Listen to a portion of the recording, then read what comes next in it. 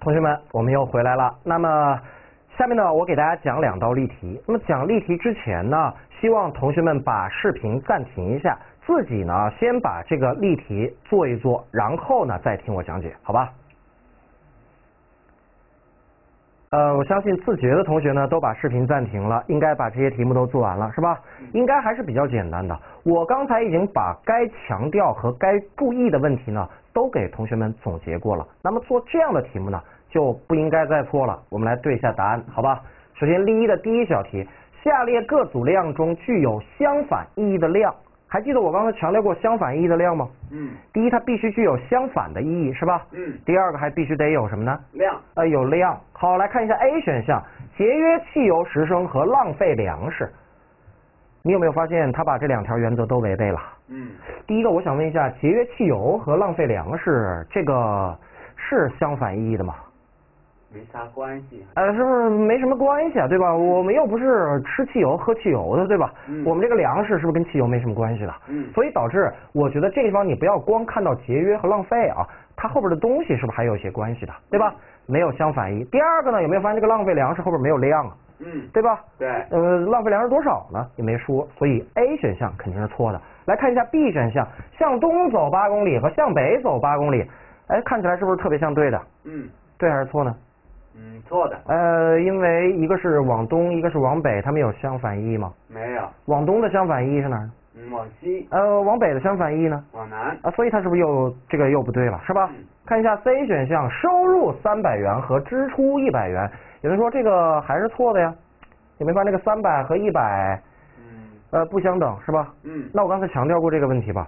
我说这个相反意义的量的这个量有没有必要让它的数据是相等的呢？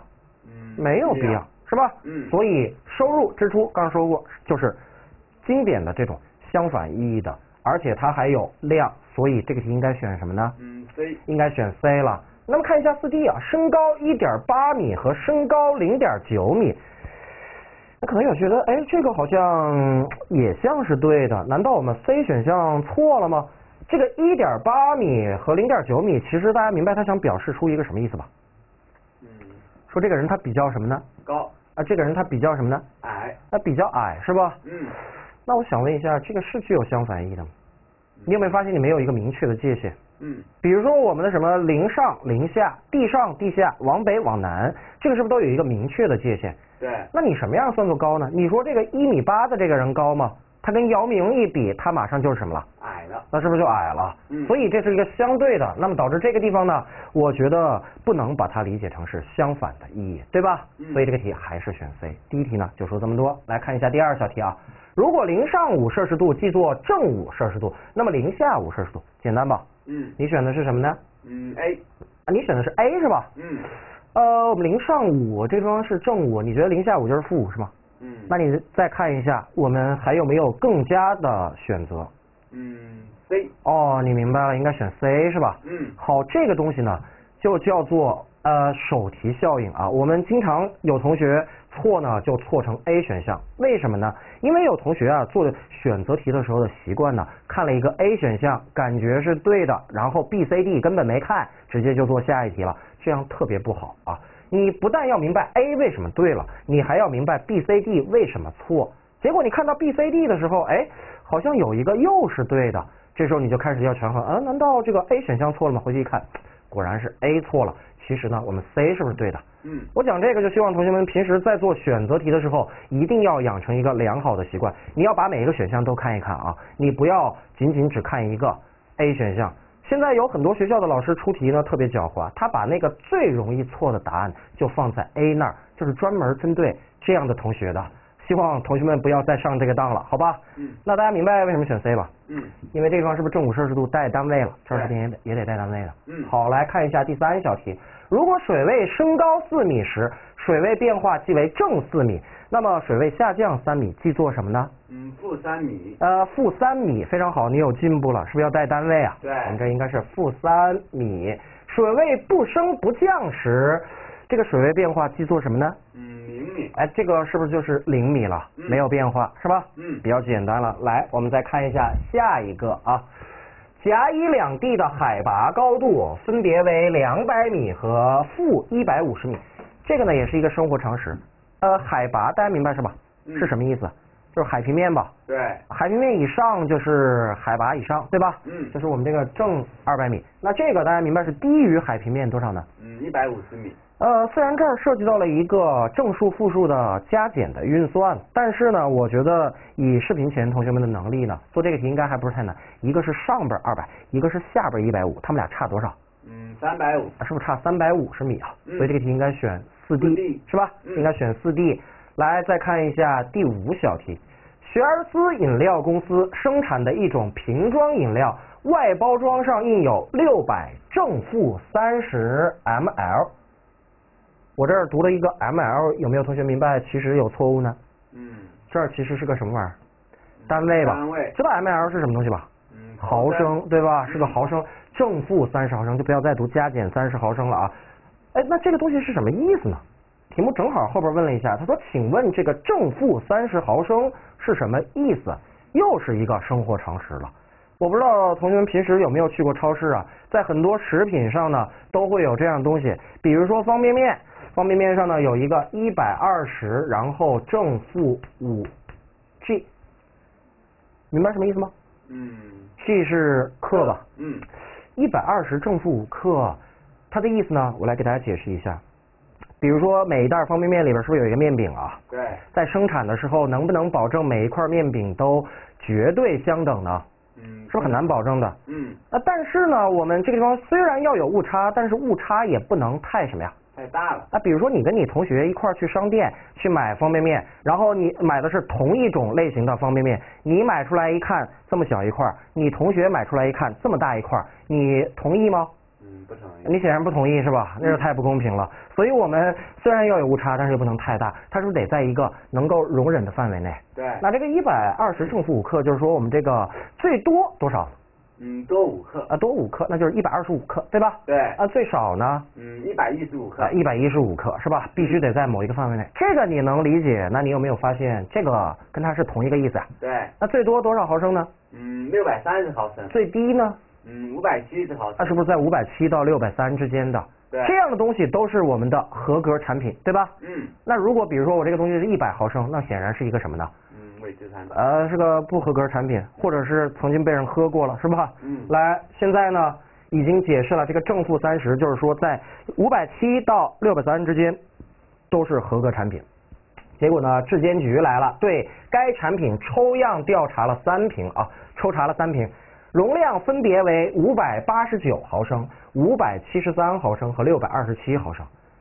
有没有发现它们差别还挺大的呀？嗯但是在不在我们刚才那个五百七到六百三这个范围内呢？嗯，在在这个范围内，所以它们是不是合格产品呢？嗯是合格产品。都是合格产品。但是我想说的是啊，我们学而思饮料公司肯定不会生产呃这样的产品。其实这个差别太大了，是吧？嗯一般来说，这个饮料它不可能是正负三十的，这个误差太大，可能有那个正负五毫升左右就差不多了。能明白我的意思？嗯好吧。那么例一呢，我就已经全部讲完了。不知道视频前的同学们，你们对了几道呢？那我们下面再来看一下例二啊。一种零件的长度在图纸上是这样来描述的：有一个二十，上面有一个正零点零五，下边有一个负零点零五米，表示这种零件的加工要求最大不超过多少，最小不小于多少。那你已经明白这个题跟刚刚那个题是不是一个意思呀、嗯呃，我把刚才那个题解说啊，那你知道这个最大不能超过多少吗？嗯，二十点零五米。二十点零五米，很好，你已经开始注意到必须带单位了。嗯，来再看一下，最小不小于多少呢？嗯，十九点九五米啊，。十九点九五米是吧？嗯好，这个题呢就已经做完了，这是我们的第一小题啊，跟刚才是一样的。来，第二小题，一是什么什么什么东西，对吧？嗯 A、B、C、D 四个选项，我们一个一个来研究一下。第一个 A 选项最小的整数，对还是错呢？错的。错的。哎，有没有最小的整数啊？嗯，没有。其实你在小学学的那一部分还真有一个最小的整数，但是到了初中以后，我们引入了什么样的概念呢？负整数。啊，是不是负数、负整数这样的概念？它是不是可以一直小下去？嗯，那有没有最小的？没有。啊，那肯定不是 A 了。B 选项说是最小的正整数，对不对呢？嗯，对的。这个是对的，是吧？嗯最小的正整数，呃，就是我们的一，对吧？嗯但是我刚才说了，大家养成一个什么习惯？虽然你知道 B 是对的，你还得去把什么看一下呢？嗯，CD 看一下。你是不是还得把 CD 看一下？万一后边还有一个对的呢？来看一下 C，最小的自然数。这个题如果给你爸爸妈妈做，他们很很可能做错啊，他们很可能做错，他们会觉得 C 是对的。但是我前面说过了，自然数又加了一个新的成员是谁啊？零。零是吧？嗯。啊，那其实我们最小自然数是不是应该是零啊？嗯。而不是一了。最后一个最小的有理数有没有？没有。没有最小的有理数，可以一直负下去，对吧？嗯。所以这个题确实选 B。来，再看一下第三小题啊，负四点五六，然后零二点四四循环啊，这个地方同学们看清楚啊，是二点四四循环，然后派。负二分之一，负零点三一三一三循环，还有三点一四，负十一等等这一系列的数当中，哪些是属于负数的？这个简单吧？嗯。我们说过负数其实有一个非常明显的标志，它的前面一定要有一个什么呢？嗯，负号。啊，一定要有一个负号，所以有哪些呢？嗯，负四点五。好，所以第一个空的答案是负四点五，然后呢？负二分之一。负二分之一，然后呢？负零点三。负零点三一三一三循环，还有一个负十一，是吧？这个比较简单了。来，第二个空说哪些是属于非正数呢？哎，加了个非字吧。嗯。我们有一个幸运儿是谁呀？嗯，零。啊，零是吧？好，零是不是就必须得放进去了？那非正数其实就是。所有的负数和什么呢？和零吧。嗯。哎，负数我们刚才是不是写了？嗯。那你明白第二个空里边就把刚才这四个照抄一遍，外加一个什么呢？零。哦，外加一个零，是吧？嗯。注意啊，前面还有四个啊。哎，最后一问，他说哪些是属于非负有理数？又有非字吧？嗯。那我想都不用想，我是不是得先把这个零写进去？对。呃，然后再非负有理数，非负有理数就是什么呀？嗯。零和所有的。正有理数是吧？嗯。正有理数来看一下有哪些呢？第一个，嗯，六吧。六。零已经写进去了，对吧？嗯。这个二点四四循环是不是有理数呢？是的。啊，它是循环小数是吧？嗯。派是不是呢？嗯，派不是。啊，派是我们无理数。无理数对吧？好，不要写它了。那这俩都是负的，不用看了。还有一个什么呢？三点一四啊，是不是还有一个三点一四啊？嗯，注意啊，这个三点一四不是派啊，三点一四是个有限小数了，所以啊，它应该放到这里边。那么导致这个题呢，我们是不是又做完了？嗯，好，来看一下第四小题啊，在这些里边，负分数的个数有多少个？那就说，哎，这个题简单啊，这个题负分数的个数，来，有没有发现这里边的分数看起来只有两个呀？嗯，一个是负八分之三吧？嗯，就是五分之十五分之二十二，同学奔着这个分数线就去了，是吧？嗯，呃，那么他又要的是负分数，所以只有负八分之三，嗯，是不是一个？嗯，为什么又选 A？那你又中了那个老师的陷阱了，他把最容易错的选项往往就放在 A 这个地方。我刚才在前边其实强调过一个问题，我说整数和分数统称为有理数，它把有一类数是不是直接给抛弃了？嗯，是什么呀？小数吧。对。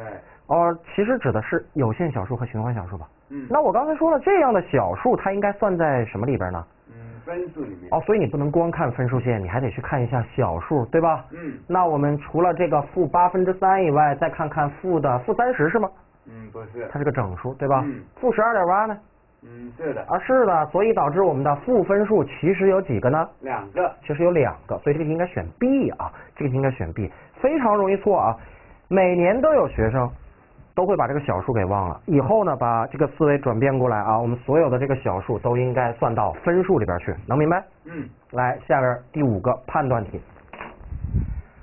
判断下列说法正确与否。第一个。一个有理数不是整数就是分数，对还是错呢？嗯，对的。这个是对的，因为整数和分数是不是统称为有理数？对。你分类的时候也分两类啊，它要么是整数，要么是分数。第二个，一个有理数不是正数就是负数，对还是错呢？嗯，错的。错了，有一个很特殊的数是哪个呀？零。零既不是正数也不是负数，对吧？嗯。好，第三个，他说一个整数不是正的就是负的，一个整数不是正的就是负的，对还是错？错的，还是错的，还是因为谁的原因呢？零，还是因为零的原因。来，最后一个，一个分数不是正的就是负的，这次有零吗？没有，零不是分数，对吧？嗯。那我说一个分数不是正的就是负的，对还是错呢？对的。啊，这个就是对的了。所以我们有两个对，两个错啊。那例一、例二我已经全部讲完了。视频前有没有同学是全对呢？如果你全对的话，说明你在这一部分掌握的非常好。稍微休息一下，一会儿呢，我们接着再讲下一部分。